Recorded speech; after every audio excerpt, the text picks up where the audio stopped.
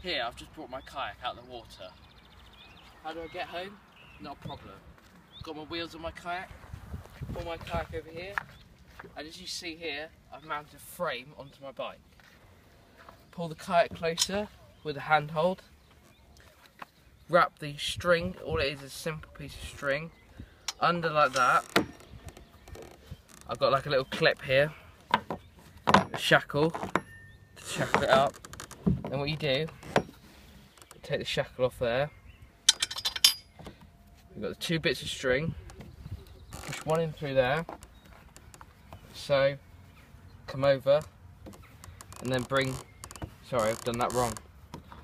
Pull that over like that, over the top, through there, sorry, that's it. And push them both underneath. And she got a bit of string. It's quite not easy holding the kayak.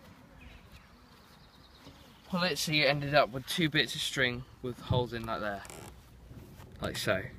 Feed the holes back under here. Get your shackle.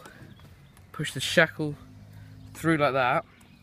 What I do is though, is you'll see in a minute which will make a difference, is to keep it in line, put the one on that side and one on that side, so that then it keeps even. So when you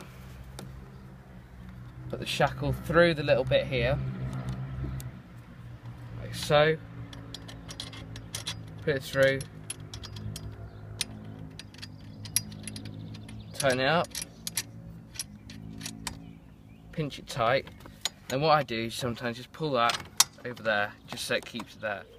That is now attached to your bike. Now if you have a look here, like so, simply made out of box section here, and a straight bit of metal going down here. Bolted, bolted, off here, a bit of welding there to make a square thing that you can put shackle around. Simple.